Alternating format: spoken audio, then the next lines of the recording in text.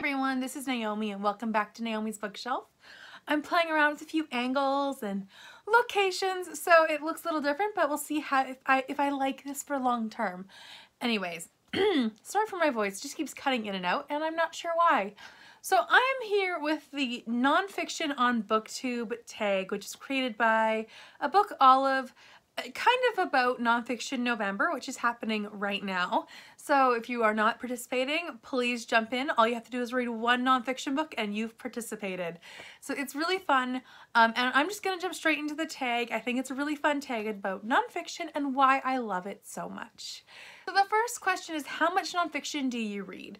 Um, it just depends on like what I'm gravitating towards, but I think so far this year I've read about 50 to 60 nonfiction books, um, which is not a mass amount, but it is a good amount. It's something that I'm not intentionally picking up, but I am picking up a good amount of. I really love um, when I hear about a book or I see a book and I'm like, oh, I should check that out. So it's um it's a lot of fun and I do enjoy picking up a lot of nonfiction books, especially the audio form of them. So it just kind of is whenever strikes my fancy or when the hold comes in from the library. So the next one is what kind of nonfiction videos do you make or do you want to make on your channel? And I um, I don't make a lot of nonfiction videos. It's more like in my wrap-ups when I've enjoyed. But I did make a nonfiction recommendations video, which I will link down below, um, which I just put up on Saturday.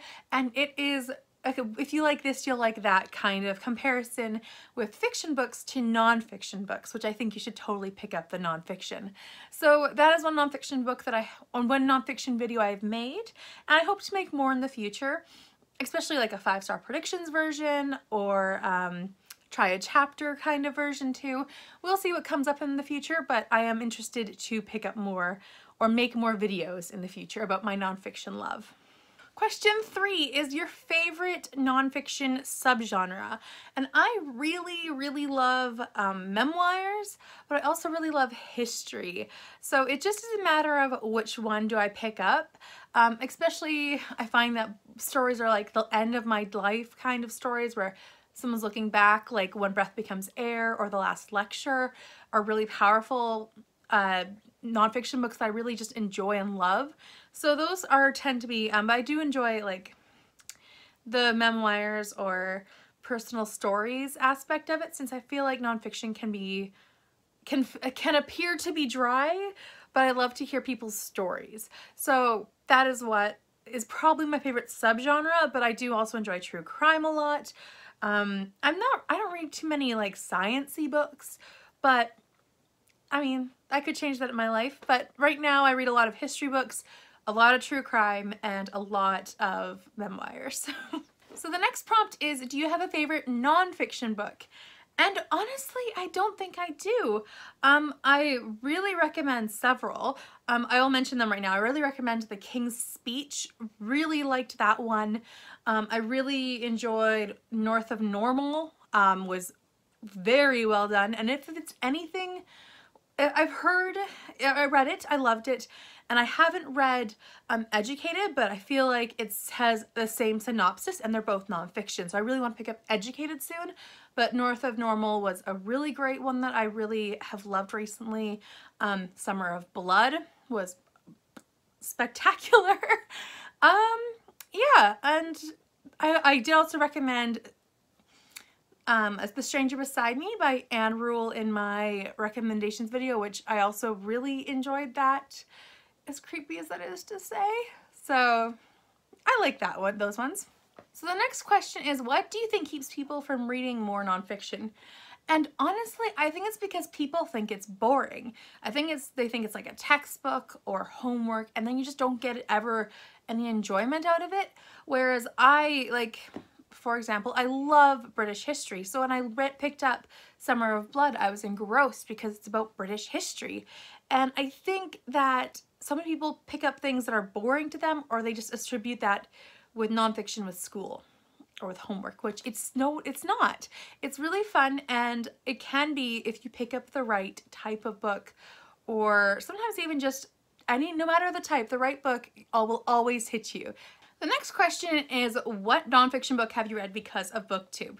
and I can't honestly say that many. Um, I just pick up whatever is recommended to me at the library, on Overdrive, on Goodreads. I just tend to pick up whatever. I have been really interested in um, This Is Going to Hurt because that one just sounds intriguing to me. Um, but I think I also heard about that from my friend because she reads a lot of medical books, nonfiction medical. So I think those are fun. But one thing I have picked up because of BookTube was because of a readathon, which was hosted by Kayla at Books and Lala. She hosted the Buzzword Readathon back in March. And one of the prompts, and that prompt was to read a book that started with, or that had the word who, what, when, where, why, or how in the title. I know, it's a really long, really a lot of words to put in there, or a lot of possible words. So I ended up picking up North of Normal, and I think it was How I Survived or something. So the word how was in it, and I picked it up because of that. It was an ebook. I was in Hawaii. I didn't have any really books on me, and I was engrossed in this book. Um, it definitely was one that I picked up because of a readathon on BookTube, but no one particularly recommended it to me on BookTube. The next question is, why do you like nonfiction? And I personally like nonfiction because it makes me think. It introduces me to a new perspective on the world. Um, especially when I'm reading memoirs or historical events, I like to see it through different people's eyes and how things happened. I also really do like to just learn more. I'm always curious. I've always been a big history nerd, a history buff, um, and I've always found those things to be fascinating, but it's so hard to keep that inspiration going and keep the learning going. So I always pick up nonfiction for that reason. If I'm interested in a topic or I stumble across it, then it's like, ooh, that sounds interesting. Like I have been reading not lately like this like last few months but in like last two three years i've been reading tons of books about families with polygamy and how the children have broken free of that. And it's just something that fascinates me um, and i keep learning about through their experiences of the books they've written and i would not be able to know that through any other way or experience that through any other way. And it's a really great way for me to learn and grow as a person without just learning about the fictional side of things, which aren't always true because it's fiction. So then the next question is, what's the best nonfiction book that you've read recently? And honestly, I don't know.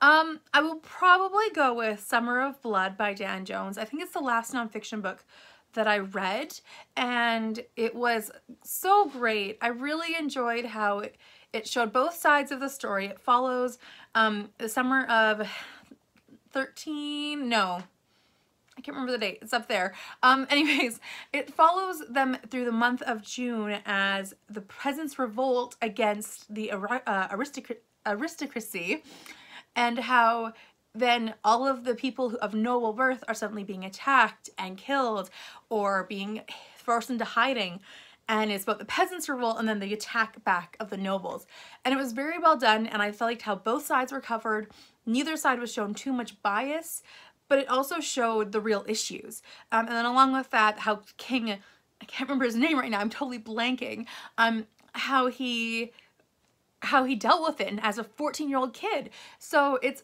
really incredible. I really did thoroughly enjoy it, which sounds really interesting considering it was very gory at points. So that was one of the little notches down. I didn't love all the gore, but I really did love that book. I just devoured it in a weird way. I feel weird saying that about that book, but I did. I just sat down and just read it straight basically while camping.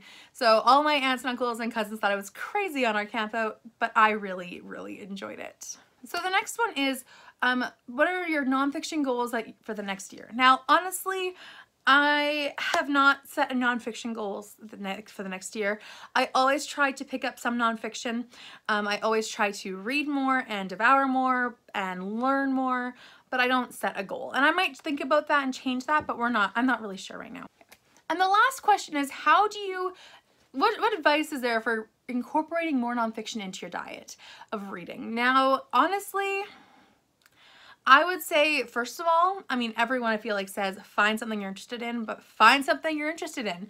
So say you really, really, really love like serial killer shows like Criminal Minds or crime scene investigation, like try picking up a true crime book Or try picking up like a serial killer FBI book if you really do love Criminal Minds. It might just be something where you can love that and then you can relay over to a nonfiction book. Another one would be, in my opinion, would be to listen to the audio of some books.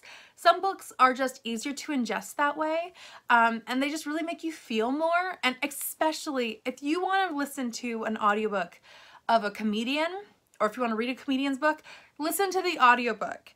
If you really love Amy Poehler, she has this amazing book called Yes Please, and it is the most hilarious audiobook I think I might have ever listened to in my life. Those are like, that's a great one. Or Trevor Noah's Born a Crime is a great one too. Especially when they narrate their own audiobook, you just feel like you understand it more. So for example, I had to find a book for one of these like challenge things that had sunglasses on the cover.